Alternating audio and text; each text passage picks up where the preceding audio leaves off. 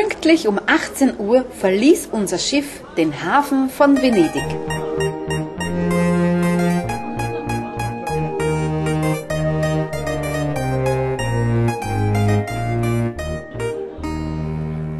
Die Lagune entstand um 4000 vor Christus durch Sedimentablagerungen oberitalienischer Flüsse.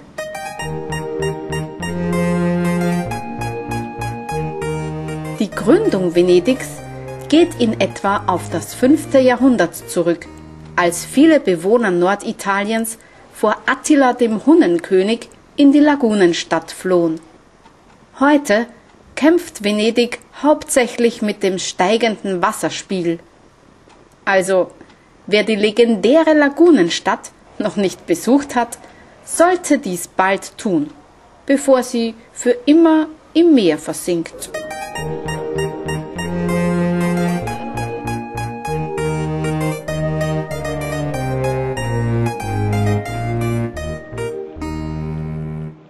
Sich auf dem riesigen Schiff zu orientieren, war anfangs gar nicht so einfach.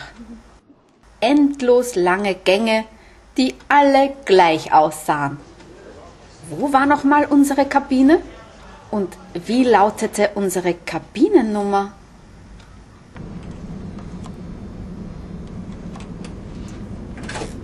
Ja. Ach ja, und noch ein großes Kompliment an Dennis J., der es tatsächlich geschafft hat, Priscilla Presley an Bord zu holen. Leider waren wir am ersten Abend so müde, dass wir gar nicht alle Shows, Bars und Restaurants besuchen konnten.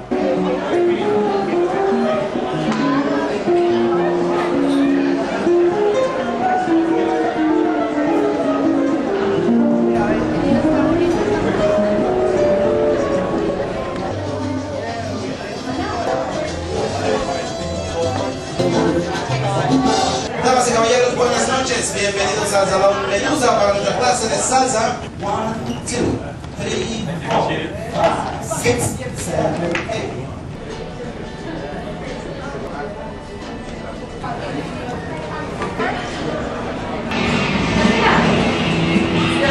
Und natürlich kann man hier auch spielen.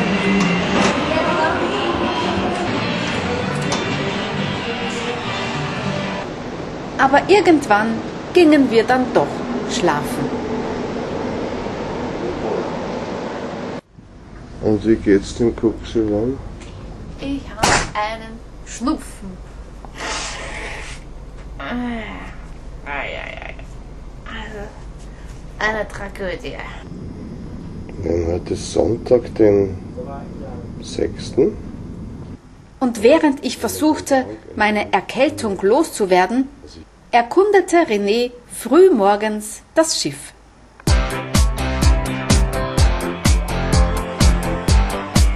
An Bord der Norwegian Jade arbeiten knapp 1100 Besatzungsmitglieder aus ungefähr 60 Nationen.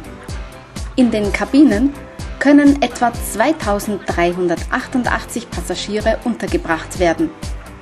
Das Kreuzfahrtschiff ist 294,13 Meter lang und 59,5 Meter hoch. Es erreicht eine Maximalgeschwindigkeit von 25 Knoten, was in etwa 46 km/h entspricht. Das Schiff wurde 2006 gebaut und kostete ungefähr 510 Millionen Dollar. Es gibt an Bord 22 Rettungsboote und 8098 Rettungsjacken. Frisches Wasser wird direkt an Bord aus Meerwasser erzeugt und zwar durch Verdunstung und Umkehrosmose.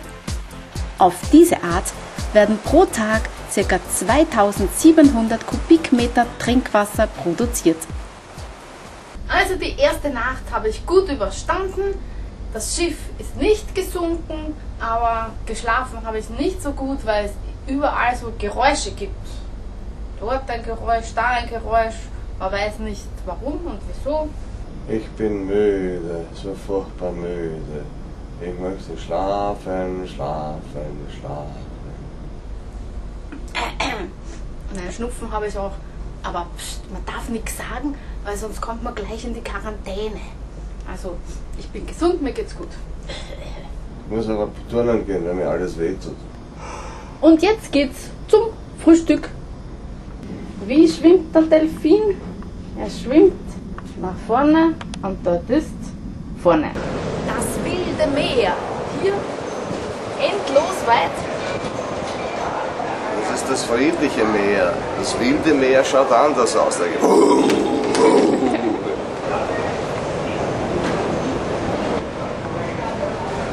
Und dann kam Washi Washi, Happy Happy. Waschi, waschi.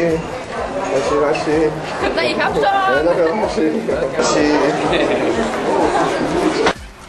Anfangs schmeckte mir das Essen nicht besonders gut. Aber dann gewöhnte ich mich an die Bordküche und schließlich fand ich Gefallen an der kulinarischen Vielfalt. Platz, alles voll, deshalb Stehbuffet. Da ich aber immer nur kleine Portionen aß, nahm ich dennoch insgesamt drei Kilo ab. Room number nine one two seven. Weil für Wasser muss man hier bezahlen. Ja, das ist ganz- Gar nicht wenig. Das ist ganz normal. Eine Bottle, 4 Euro, ah, 4 Dollar, irgendwas. 4,90 Dollar. Auch das Casino besuchten wir kurz.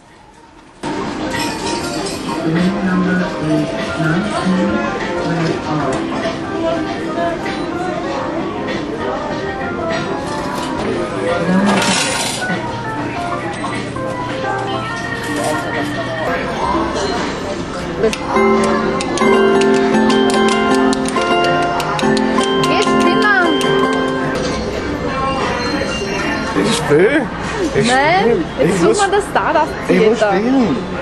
Nein? Hast du es nicht aufgenommen? Oh ja. Und das ist das Stardust Theater. Schön. Und dann ging die Reise weiter über das bewegte Meer in Richtung Dubrovnik. Es ist schwerer Seegang.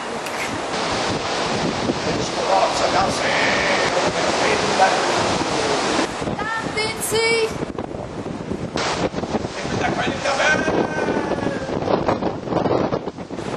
Liegt Dubrovnik. Wir machen dann einen Ausflug nach Dubrovnik.